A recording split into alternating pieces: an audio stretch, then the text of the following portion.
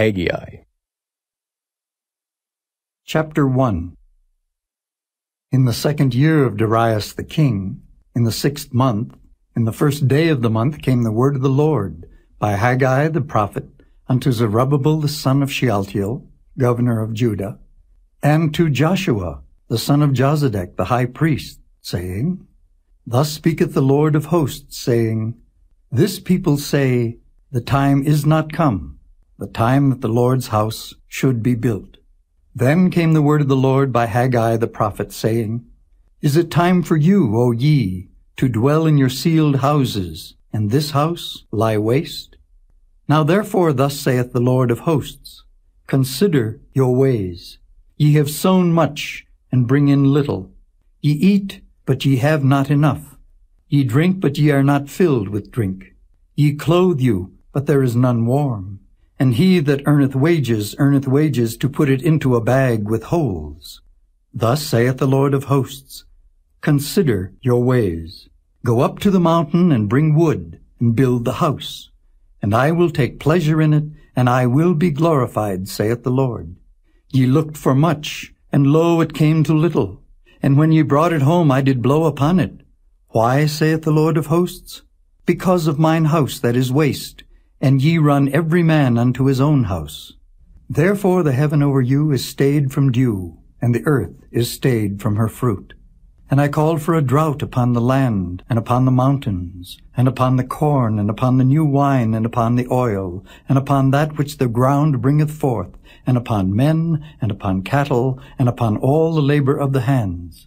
Then Zerubbabel the son of Shealtiel, and Joshua the son of Josedech the high priest, with all the remnant of the people, obeyed the voice of the Lord their God, and the words of Haggai the prophet, as the Lord their God had sent him, and the people did fear before the Lord. Then spake Haggai the Lord's messenger and the Lord's message unto the people, saying, I am with you, saith the Lord.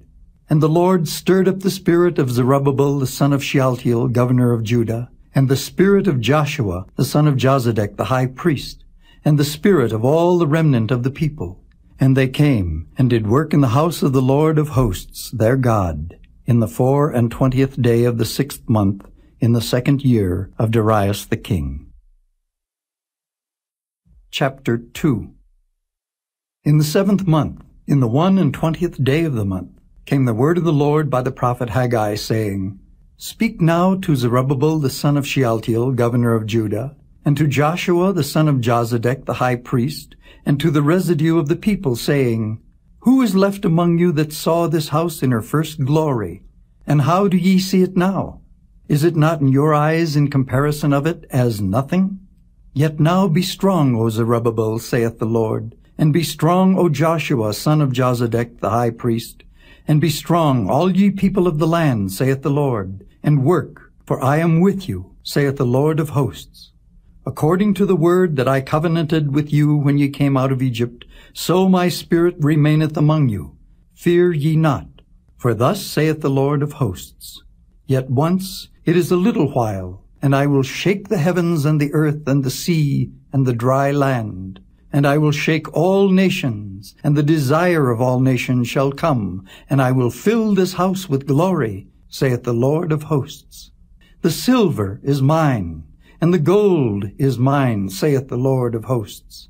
The glory of this latter house shall be greater than of the former, saith the Lord of hosts. And in this place will I give peace, saith the Lord of hosts.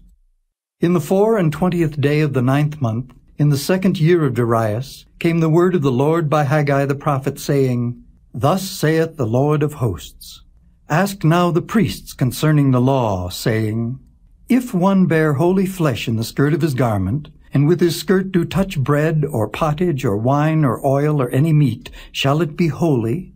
And the priests answered and said, No.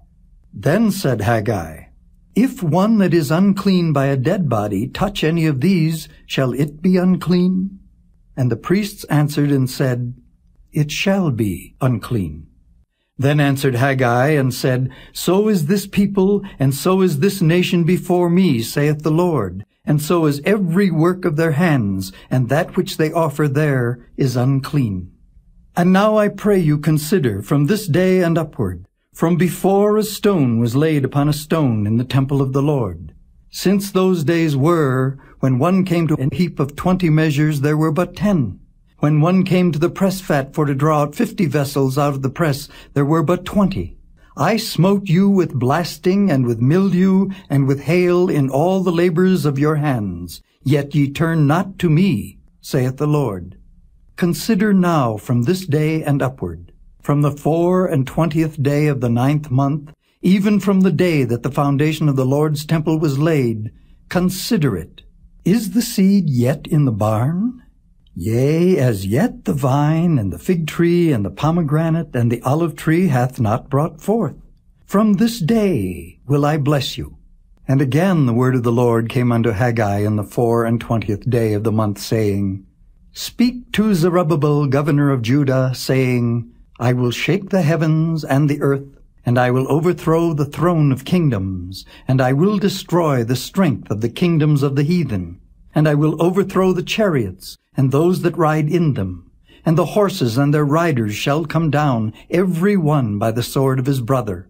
In that day, saith the Lord of hosts, will I take thee, O Zerubbabel, my servant, the son of Shealtiel, saith the Lord, and will make thee as a signet, for I have chosen thee, saith the Lord of hosts.